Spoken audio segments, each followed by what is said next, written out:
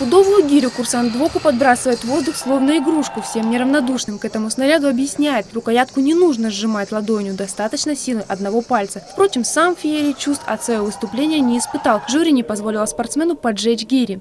Была такая задумка, хотел пожечь гири и жонглировать горячей гирей. Но, увы, запретили, так как требования безопасности тут не позволяют этого. А так было бы эпично. Но даже с горящими гирями Дмитрию было бы сложно соревноваться с 21-летней ушуисткой, двукратной чемпионкой Европы, многократной чемпионкой мира и мастером спорта России Александрой Саковской. В свое время студентка БГПУ бросила факультет Иньяза и поступила на факультет культуры и спорта. Поняла, боевое искусство и знание оружия, в том числе иностранного, интереснее.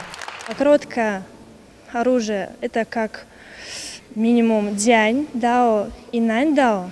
А длинное – это тян и гунь. Еще есть нань гунь. Тян – это копье, гунь – это палка, а нань гунь – это палка другого вида, южного направления. Участники представили на суд жюри 8 видов спорта – плавание, волейбол, баскетбол, легкую атлетику, теннис, ушу и гиревой спорт. Но показательные выступления были только разминкой главному – сдачи норм ГТО.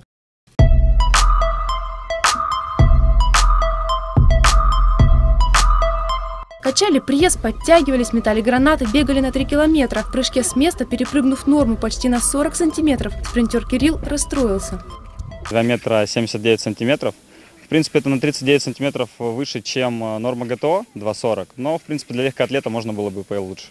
Результаты состязания огласят на торжественном закрытии конкурса 4 мая, а победитель, напомним, получит не только звание «Студент года 2017», но и денежную премию. Оксана Курбатова, Константин Волков, программа «Город».